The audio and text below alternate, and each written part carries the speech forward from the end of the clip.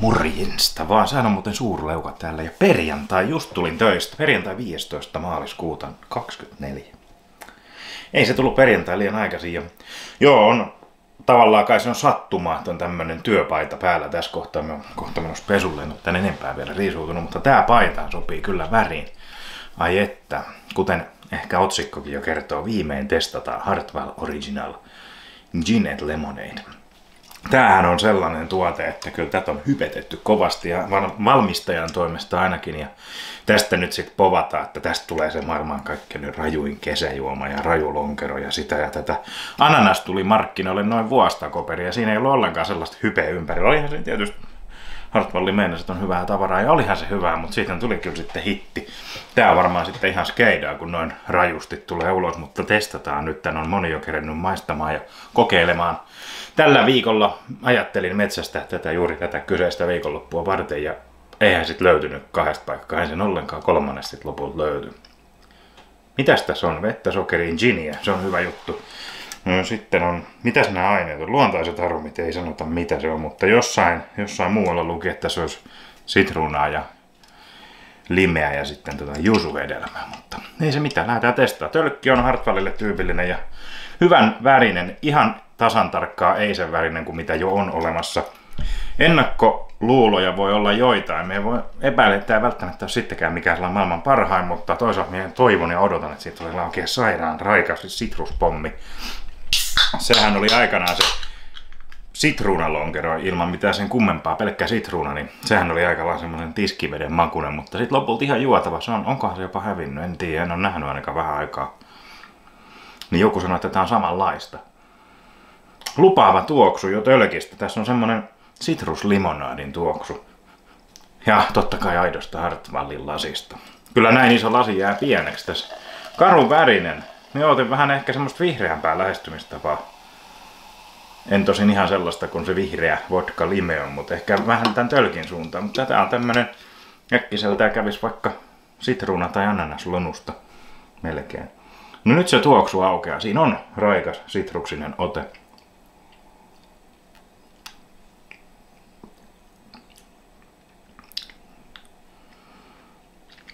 No, täytyy myöntää, että meikäläiseen se osui ja uppos. Ai ettien että. Herranen aika tää on muuten hyvä. Tämähän on ihan törkeä hyvä. Ihan jo ekalla huikalla on sanoa, että tää on paljon parempaa mumma kuin ainakin kuin se ananas. Siinä on se oma tietty hyvä puoli, mutta se on, siinä on aina se pieni pieni semmonen takakirja tympeys. Vähän. Tää on jo yhdellä huikalla ihan, ihan huikea tuote. Tästä tulee mieleen joku, tietysti pienellä gininpurasulla, ehkä sitä muuten saisi olla vähän enemmän. Mutta jos sitä ei huomioitaisi, niin joku limppari lapsuudesta. Muistaako, oliko tämmöinen kuin joku frisko? Vai mi- mitä hittoja niitä oli? Joku, joku sen tyylinen. Ja ihan reilulla oikealla sokerilla eikä mitään semmoista. No, täällä on joku kissan karva mennyt. tai munan karva onpa hyvän makuinen. Jumaliste, ei ole semmonen hirveän esanssinen. Tokihan täällä nyt ei mitään ihan varmasti aitoa sitruunaa ihan hirveitä määrin täällä ottaa limeäkään, mutta tää on just semmonen raikas. Just sellainen kuin tää paidan väri on. Oikeasti ehkä niin kuin suurin miinus tulee tällä hetkellä tämän juoman väristä. Se olisi voinut olla vähän raikkaampi jopa. No en tiedä, kyllä tämäkin on aika hyvän näköinen, kuten lonkerolle on ominaista, niin todella, todella heisi. Ai saakeli ei jää ollenkaan sellaista tympeätä makua. Tää on kyllä just sen oloinen, että vähänkin lämpöisenä ei kannata juoda. Tää on kovin kylmä, tää on just tuossa pihalta otettu. Siellä on muuten plussa keliä raatia tällä hetkellä, niin se tuntuu olevan ihan hyvä lämpötila. Tämä oli täydellisen positiivinen yllätys. Mä ajattelin, että tämä ei varmaan ole häppöinen, mutta juodaan nyt oikein siksarin menin ostamaan. Ja... Ei jumaliste. Nyt toimii. Hei, hyvä hartsu. Onko tullut viimein ihan potentiaaliin uhkaa ja harmaalle. Onhan se, se on aina se perinteinen, se on, sille on aina aika ja paikka. Mutta jos tätä Tallinnan puolesta rupeaa löytymään, niin se on sitten aika lailla siinä. Onko jopa ihan pikkasen, ihan seitin ohuen ohuesti, jopa vähän liian makeeta, nyt kun rupeat märehtimään tässä, niin kolme, kolme, kolme, no tässä on viisi, mutta kolme parannusehdotusta. Mennään top kolmella.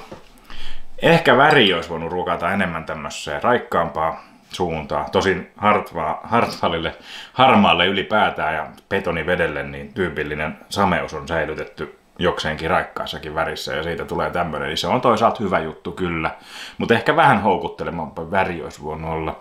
Toinen, ja ihan semmonen snadi seitinhut loraus lisää. Jos siitä olisi loraus lisää, niin se varmaan sitten olisi liian vahvaa, joten se ei ehkä sitten onnistu, mutta sen makua vähän paremmin esille.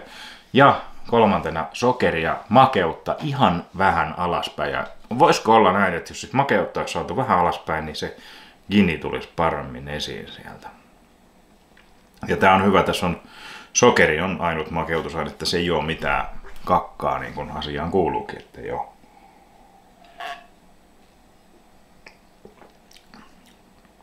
Tämä on yksi parhaimpia puolia tässä on tämän huikean hyvän maun lisäksi se, että tästä oikeasti tulee joku, joku sika hyvä lapsuusajan limppari mieleen. Kesä 96, Super Nintendo, Donkey Kongi, joku punainen, punainen verikreippi tai veriappelsiinilimu ja sitten aina sen jälkeen raikas sitruslimu. Niitä kahta silloin pienenä. Ai ettien että.